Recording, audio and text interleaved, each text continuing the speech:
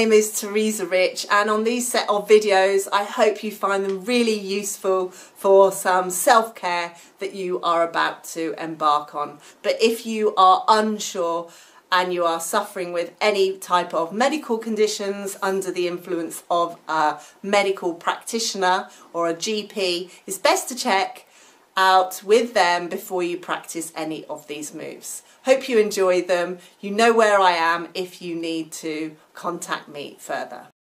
For today's facial reflexology, we're going to focus on anxiety and relaxing our client. So before that, we're going to go through the basic facial massage routine. Um, generally, you would be doing 15 of these um, moves, but for today I'm going to show you one each to keep the time of the video down and also to stop you getting bored. So take the fingers like we did in the first video, move up and lightly down. Okay, so I'm just going to do two just to show you firm up and lightly down. Then what you can do is to just awaken your face you can do tapotement, okay? Nothing to say you can't do that, all right? And you can still do some tapping just to wake yourself up first thing in the morning. It's nice and invigorating.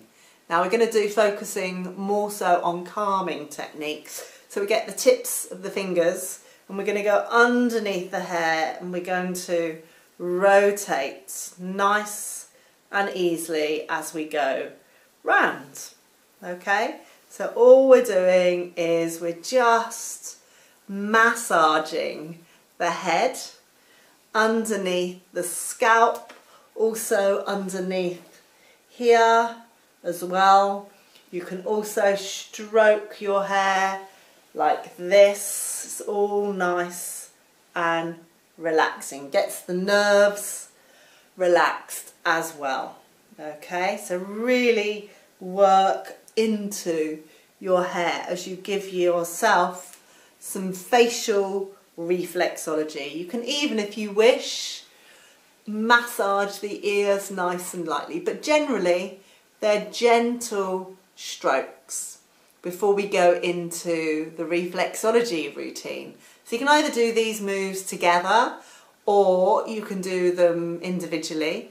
So we're going to look at um, here is where the brain area is. So we're going to be focusing on those areas very gently.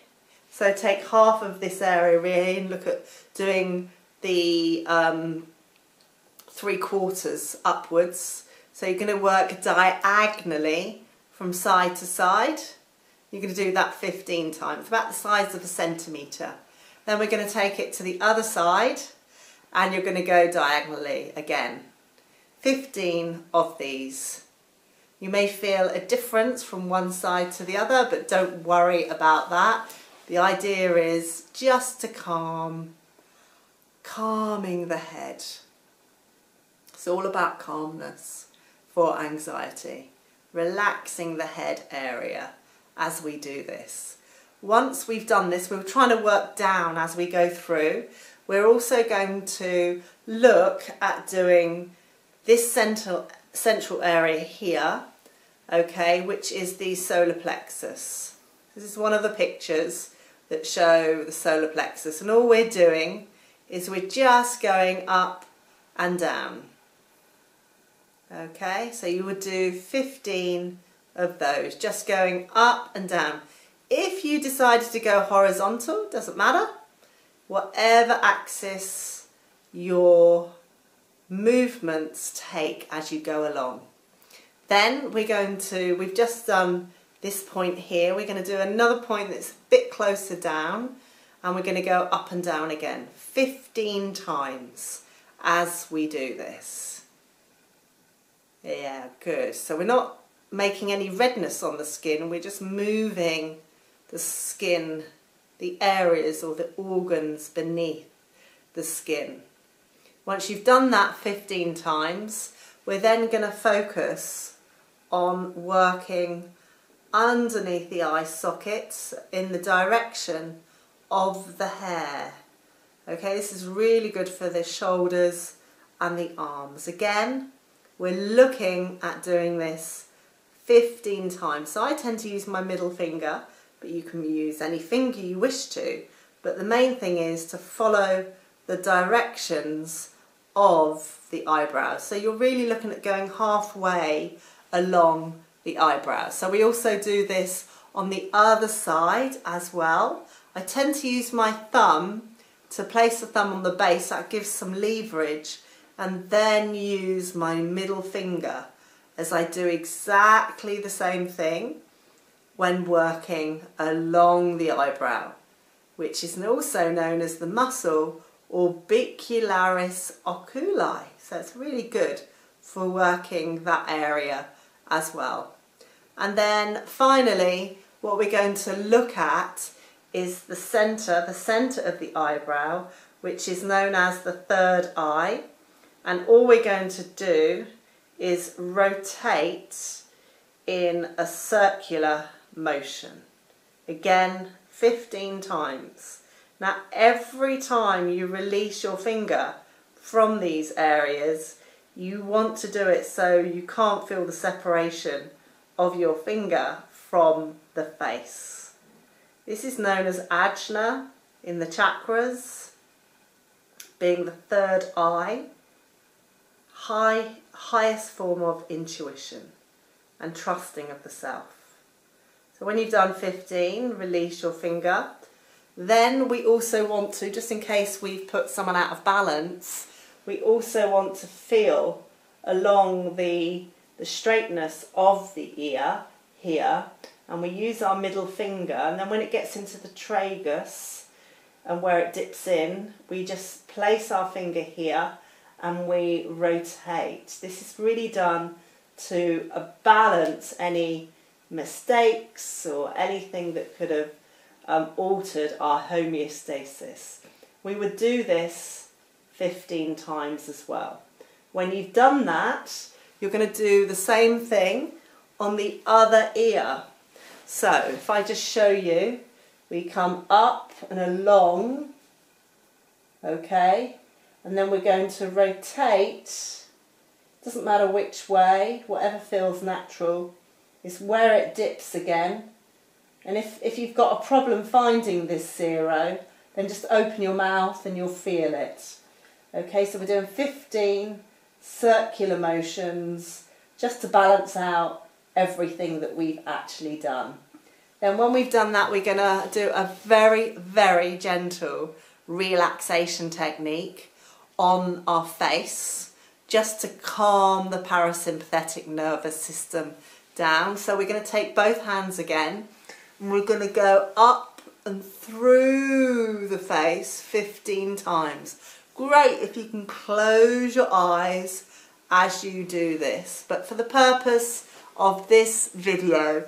I'm only going to do it a couple of times. Once we've done that, we then get into massaging the scalp.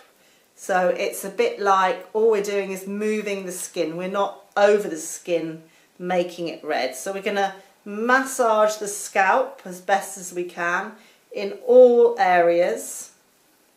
Okay, even on the top, try and get into the areas that you would not normally, especially underneath, and use your thumbs as well to massage underneath the scalp.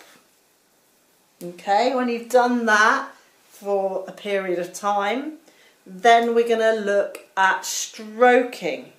You can stroke from underneath.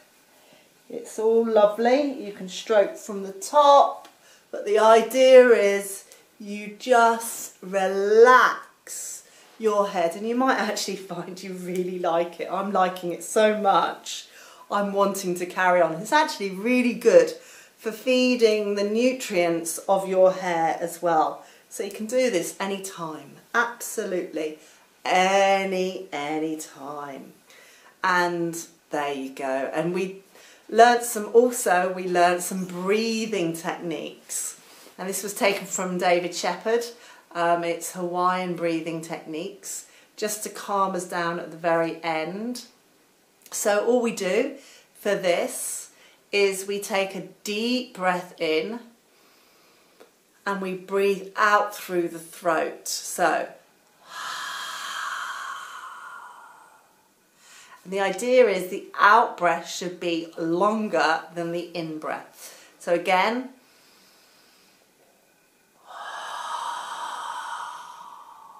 so you can hear the throat, the back of the throat. And again, this really, really helps the parasympathetic nervous system.